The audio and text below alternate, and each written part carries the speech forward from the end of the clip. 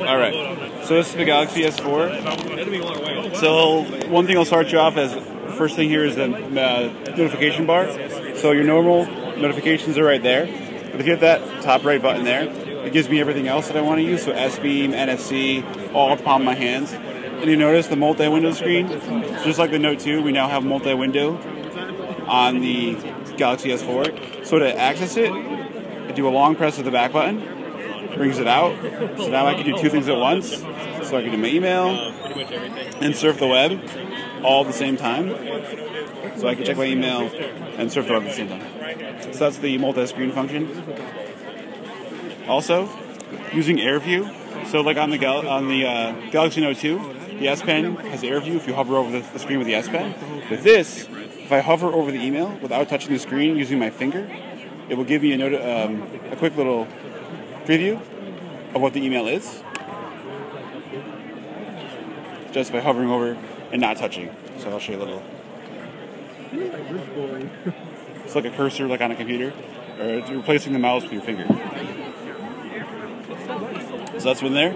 Also, if I wanted to watch let's say a video, an email, or surf the web at the same time, I can launch the video. Press the pop-up.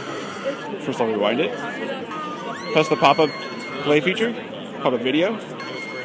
So now I can watch the video, check email, and text at the same time.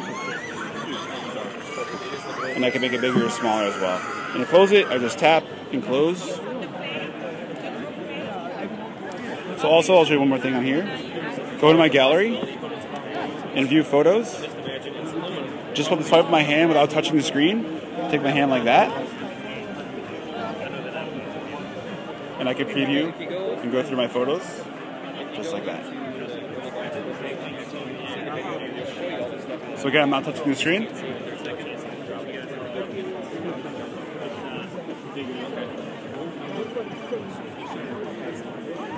Um, also with group play, what we can do with that is if we had two devices opened, I can share music. So I can do, I can play a song in here, and I can have up to eight devices play the same song at the same exact time. So it's pretty much like if I had five, 5.1 speaker system, all with phones. So we're all playing the same song uh, at the same time. It does not use Wi-Fi, it does not use data. So if I wanted to, for example, I joined a group I can share music, files, and we can also screen share to play video games as well. So do games at the same time as well.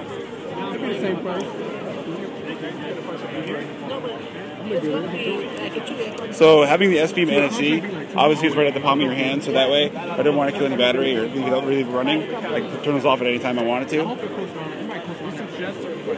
So it makes the notification bar a little more user friendly and incorporates everything right into there. We also changed up the actual settings menu. So now different connections, so your Wi-Fi, your Bluetooth, Airplane mode, all is right there, NFC as well. My device, so I can go through the lock screen, display, all that kind of stuff's all right there. So it's a little more user friendly. Also, on the camera, we now have dual camera. So if I want to take a photo, I can turn it so it's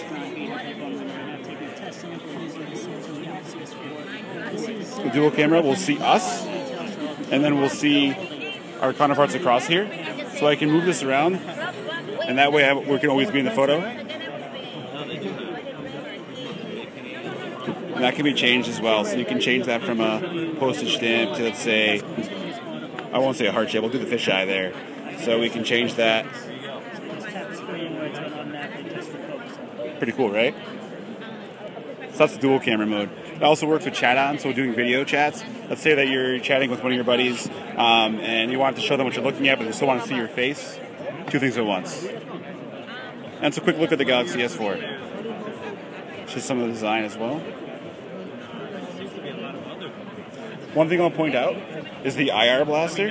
So just like on a, a television remote control, as an IR blaster, so you can control your TV and the DVR and, and, and play shows all by using our Samsung WatchON app. So actually, let me let me access my DVR and every show that's playing on TV, so I can actually access that and ch- change the channel, volume, control my soundbar, all that kind of stuff all at once.